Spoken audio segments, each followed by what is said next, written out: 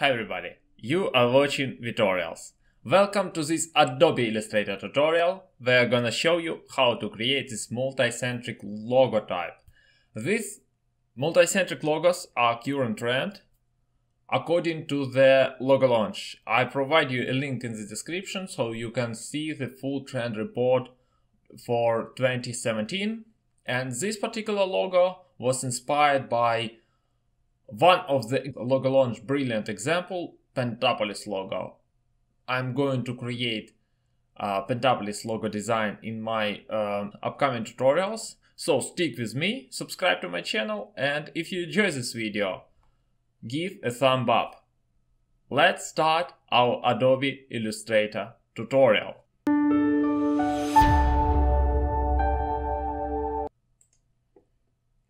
So now I am in the inside Adobe Illustrator new document and first of all I want to show my grid. So Control quote or Command quote. Use Control Shift quote or Command Shift quote on your Mac to snap to the grid or you can also go to the view and find these options here. If you're following along you need to know my grid settings. So go to the Edit, Preferences, Guides and Grids. And here I set the grid line every 120 pixels and number of subdivision to 12. Uh, I set the number of subdivision to 12, so I have this cell 10 pixels, width and height.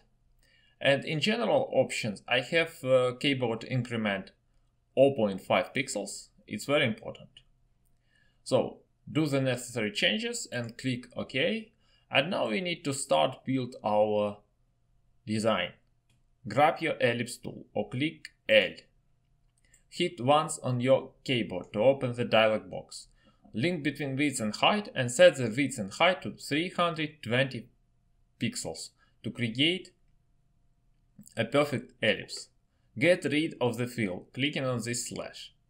I want to leave one point black stroke and align to the artboard, both horizontally and vertically.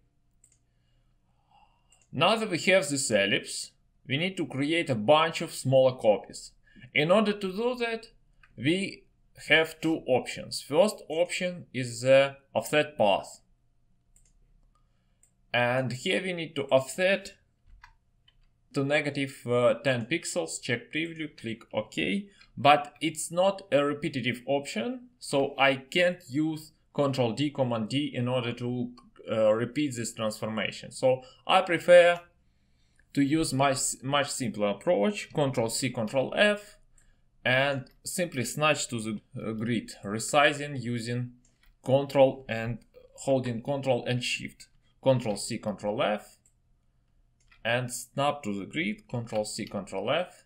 All of my copies is one cell smaller than my original file. And we need to create a 12 duplicates in order to achieve 12 sectors. So let me check our sectors. I want to control A to select all, grab my shape builder tool and count my sectors. 1, 2, 3, 4, 5, 6, 7, 8, 9, 10, 11 and we need to create another duplicate. So Control C, Control F and this is my last one. I want to set the stroke to 0.5. I probably want to enlarge it a little bit more. So every mile, every line, every circle is visible. But uh, in uh, uh when I create original uh, logo design, I use uh, the smallest stroke possibly. Uh, I use quarter of pixels, quarter of point. So we have this circles, we need to grab shape builder tool and select every segment inside.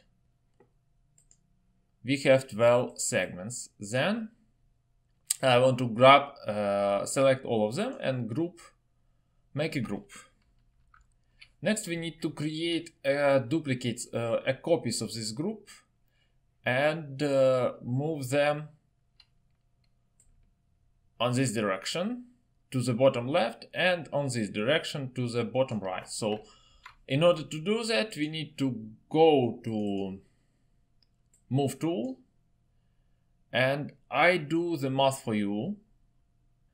We need to move first copy to the distance of 200 pixels and uh, with angle of negative 55.58 uh, degrees. Check preview and click copy and then select your original file, double click to open the uh, selection tool to open the move dialog box. And again, we need to set this value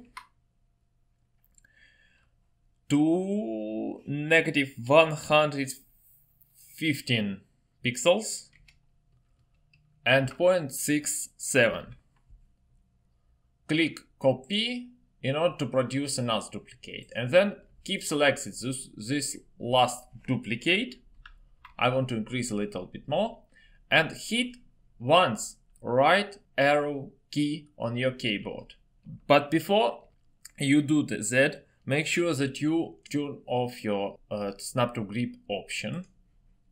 And then using your keyboard increment move your last duplicate to the right.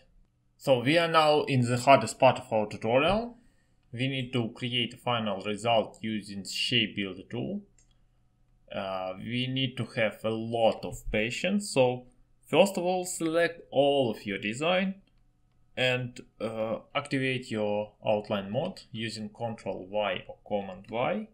I'm gonna scale a little bit more, grab my shape builder tool and start with the inner sector of my original uh, top and I create this kind of swirl.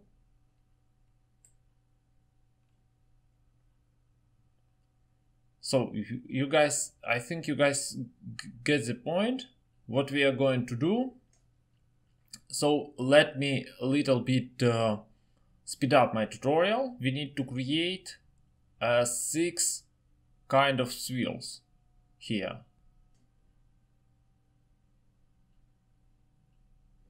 Then we need to do the same with our right and left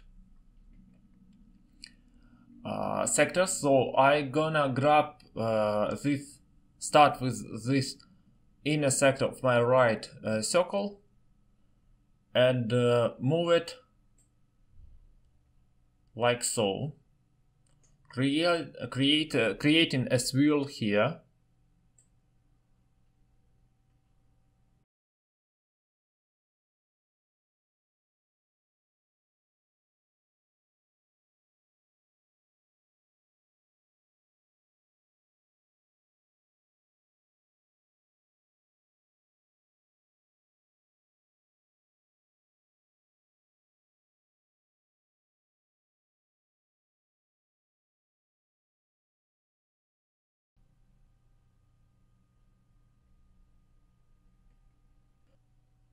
And now I want to combine my bottom left circles with my top ones.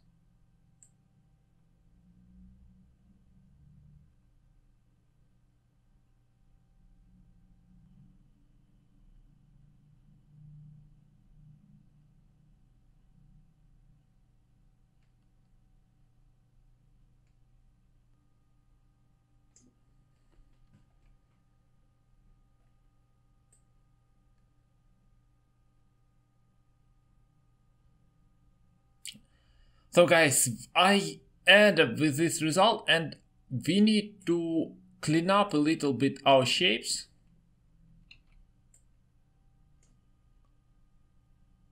Getting rid of unnecessary elements.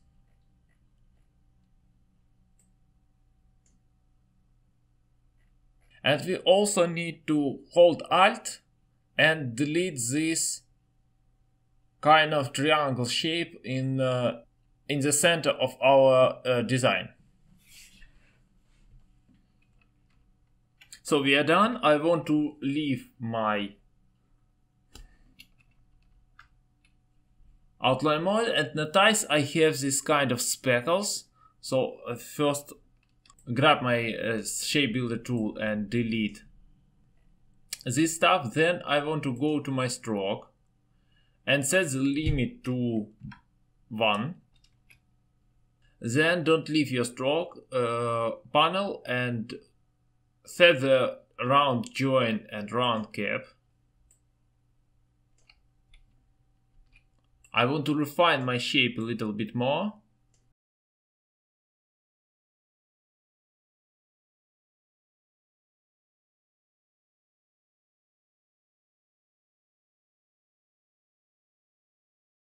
So we have our final shape, but it must be cleaned. And in order to do that, just go to your layer panel, open this group and delete all of these speckles, all of these strain points and all of these circles and leave only these swirls. Uh, then we need to select all and rotate it so grab your rotate tool, click R, hit alt click on the center here and set the value of negative 5.4.5 uh, degrees. I'm sorry. Uh, click OK and we are ended with this result. So guys, I hope you enjoy this tutorial. If you do, don't hesitate to thumb up, subscribe and share it with your friends. I want to thank you for following to the end. Have a nice day.